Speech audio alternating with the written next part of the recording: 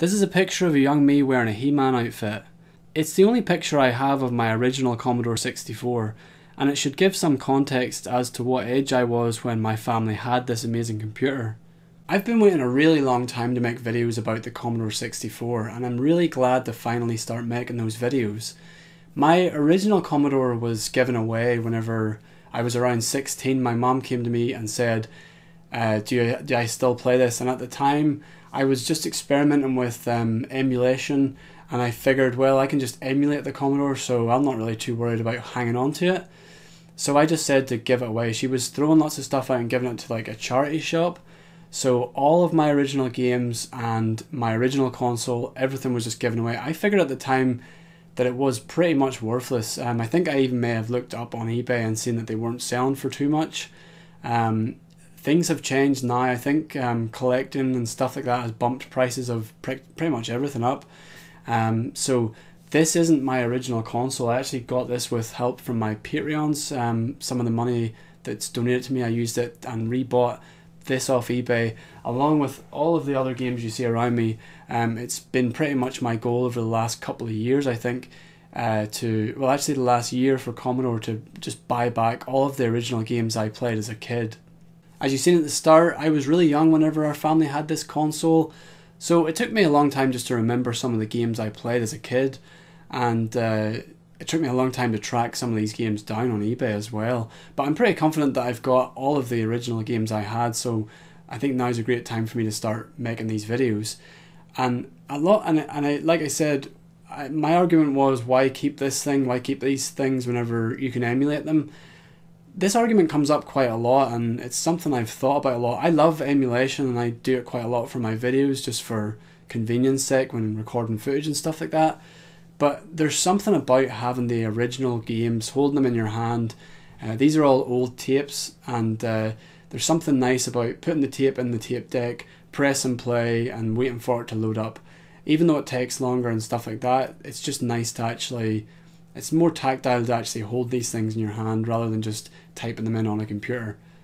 The most recent time this came up was when the SNES Mini was um, advertised, and it came up whenever the NES was Mini was advertised, and basically every time that any re-release of any old games come up, people will just say, "Why buy it when you can emulate it?"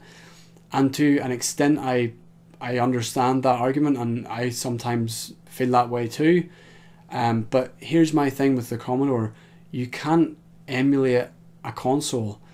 And I know you're thinking, well, you can. You can emulate the games, and you can you can run a little program that's uh, WinVice, I think it's called, and I, I use it too. It's great. But what I mean is, you can't emulate a, an actual computer. It's like the feeling of it, the feeling of the joystick, for example. Like you can get joysticks that work. I, I made this argument when I said, well, um, it's nice to like for this SNES Mini, for example. It's nice to use a SNES controller. You can buy a SNES controller for the PC, um, but it's just like having a, a SNES cartridge, blowing on it, putting it in the slot. It's just all part of you know turning the switch on. It's all part of reliving it, um, and I think that's lost with emulation. So it was really important for me to actually go back and get the original hardware and try out this, um, just because a lot of stuff for me was forgotten. Like I just forgot a lot of it, and emulating's kind of cold. I think that's how I would describe it. It doesn't. It's it's everything's there, but it's just there's just this extra part that's not there. And um, I, I'm a really nostalgic person. I just like going back and trying these things out. I mean, I think that I'll probably do everything in my life twice um, at least the things I like doing. Uh, like if I really like a film, I'll watch it multiple times throughout my life, and the same with games. If I really like a game, I'll probably complete it more than once too, and sometimes ten years apart. Like I just like going back and trying them out and stuff. It's just I really love going back and trying them again. But in this video, I'm not going to go into any details about any particular games. Um, I'm, I'm aware that a lot of people who have subscribed to my channel won't know what a Commodore 64 even is. So this is just an overview of the console, uh, what I used it for, and it's just like a beginner's guide, I guess, to what the thing is and how it worked. Uh, not going into any detail because I couldn't do that. I don't even know enough about it. I just know how to play games on it, but I'll show you um, what way it worked basically. And future videos, I plan on making top tens and all sorts of guides and all lots of other things. So this is just about the console, and anyone who knows a lot about Commodore 64s aren't going to learn anything here. This is just for total beginners. So first of all, let's just have a quick overview of what's on the console itself. So on the side uh, where the power connects, uh, there's a there's a switch which is essentially an on-off switch and re the reset button if you ever have to reset your Commodore. Funny thing about this is uh, this we got this Commodore our family just before we had the Windows 95 machine, and uh, the way to turn the Commodore on and off is just by the switch. There's no like shutdown. There's no like there's none of that. It's like way before all that happened. So you just would have flipped it off whenever you were finished um, playing a game, and whenever we got our Windows 95 machine, I thought it was the same. So I would just walk up to it as a kid and just like turn it off, turn it on. That's how I thought you turned it on and off. And then my dad caught me doing that one day. he was like, "No, no, don't turn off. You have to properly shut it down and all this here." So I went from sort of conditioning myself to just flipping a switch to then knowing how to power it down. And now, all those years later, and all those years of using computers to just you know go and start and shut down, um, shutting them down properly, now going back to just turning the machine on and off, it feels like I'm doing something wrong. It feels like I should have to like like type in shutdown or something like that. But that's a weird thing that I've noticed going back to it, like the, the on off button. So very primitive. Um, and the other thing is that if it's turned on, you don't want to be pulling things in and out. Um, if you're putting a tape deck into it or a disk drive or something like that, you have to turn the thing off and then put it in. I've heard that it can be dangerous. Some reports are a bit conflicting on this. I've heard people saying don't pull joysticks in and out. Other people say it's perfectly fine to do this. There's no like kids have been doing it for years. I know I probably would have done it back in the day, but as a rule, they people generally say turn the machine off, then put all your plugs and stuff in, then turn it on again. So um, that's the only thing about it. This is the joystick with um, I had when I was growing up. Um, it's probably the best and most iconic joystick for the Commodore 64.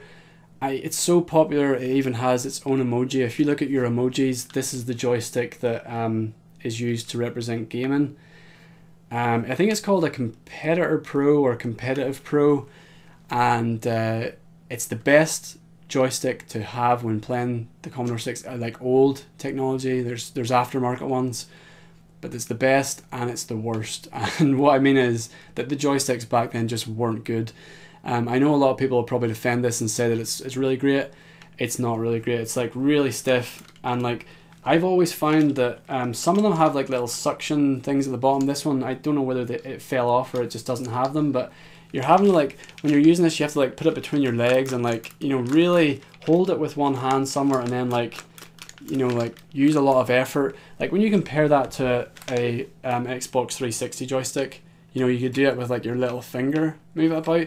With this you're having to like put a lot of force and like there's a lot of like grinding going on in there to get your man to move and it's really difficult to use i think um, but it's all part of the authenticity going back and using the original joystick i think and it's it's fun to just try it out and sometimes I find actually using like a keyboard if you're emulating, it's just not as fun or it doesn't feel quite right. Sometimes a joystick does feel good, um, but I don't know. Maybe someday I'll buy an aftermarket one. I know there's uh, ones online, but they're quite expensive, and I'll, I'd imagine there are a lot more free movement in those.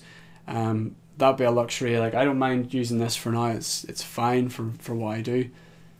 So that's the joystick. The other thing that I plug in is a tape deck. The Commodore 64 games, some of you might not know this, but they ran uh, tapes. Um, you could also play from a cartridge, which was a lot quicker. And there were disk drives, but um, I didn't have a disk drive when I was growing up, so there's no nostalgia there for me. Um, and I never bothered uh, getting a disk drive this time round.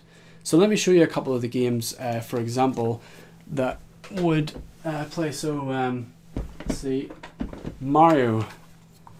Mario was actually on the Commodore 64, um, probably actually the first console that it was ever on. Um, there's a couple of Nintendo games on the Commodore 64, which not a lot of people know about, um, and I plan on making a video about these games. That's the way it comes, just on a tape. These all these games are on tapes. I've got a couple of cartridges. Um, for example, this is one of my favorite cartridges here. This is um, a compilation of six games and they this is what the cartridges look like Um, the cartridges just slot it into the back of the Commodore 64 and uh, they more or less instantly load it up as soon as you um, hit power on the console itself they'll just load up and you can play the games right away so there was a huge advantage like, I mean kids are impatient I was in, impatient as a child and uh, these were like my go-to games if I just wanted to play something quickly so some of these are my favorite uh, Rick Dangerous and Stunt Car Racer is on this one and we have a couple of other ones. Uh, Fast Food was pretty good on this one as well. I'll probably do like more videos about these games later, but that's pretty much how they worked overall. I mostly just played tapes and cartridges back uh, whenever I was a kid, so that's what I'm buying now. I'm not really interested in the uh, the the disc drives, and um, the floppy disks, but um, a couple of aftermarket things I got. This one, um, which I've made a video about, is the SD to IEC. This is um, essentially emulates the disk drive and lets you just play mostly any media. Actually, um, it lets you just put media onto a, a little floppy or a, sorry, a little SD card. Uh, you can put loads and loads of games and stuff on there and play them on your original hardware. Uh, so that's really cool. The other thing I use currently, I mean, I probably will buy more aftermarket like new. There's lots of new stuff coming out, which is exciting for the Commodore 64. Um, but the other thing I use at the minute is uh, Clone Master, which I've made a video about as well, and it essentially lets you um, plug two tapes, uh, two tape decks into your Commodore 64 and make copies. So if you buy like just um, regular uh, like blank tapes, you can just make copies of your games, which is really good for preservation and stuff like that. So um, that's the other thing that I use at the minute. But I've already made uh, full videos of the SD IEC and CloneMaster, um, like a guide on how to use both. Um, I go into quite a lot of detail on those, just showing you how to use them. So you'll find them somewhere on my channel. This was just a short video, just as an overview of what the Commodore 64 is, what it looked like, you know, how to use it, um, what the games were like and stuff. But I'm going to go into a lot more detail about the games um, in upcoming videos. I'll probably do a top 10 games, uh, my top 10 games. I'm going to do a, a, Is the Commodore Still Relevant, showing off what relevant games there are on it that you might recognize, like the Mario one I showed. And uh, so, but this is just a short video. Um, I'll also actually the tape deck. Um, I did a little project where I used a thing called Retro Bright to like sort of clean that up. So I'll leave a link to that in the description. It's just a little article on um, whenever I was sort of coming up to making this, my tape deck when I arrived, it was all like yellowed. Like I know these, you'll have seen old consoles they go yellow, um, and it's actually like a fire retardant um, chemical that's put into the the plastic itself. Um, there is a way of sort of cleaning it off a little bit, and I'll link to the article and um, to show you that. I wanted it nice and clean for my videos. I didn't want an old yellow tape deck um, showing up in my videos. So thanks everyone for checking out this video. Um, I've been spending a really long time collecting all stuff. I pretty much started from scratch. I didn't have anything. Um, I didn't have the controllers or any of the games. So it's taken me a long time to build this stuff back up. And uh, I'm really looking forward to making some videos about the actual games, which should be up really soon.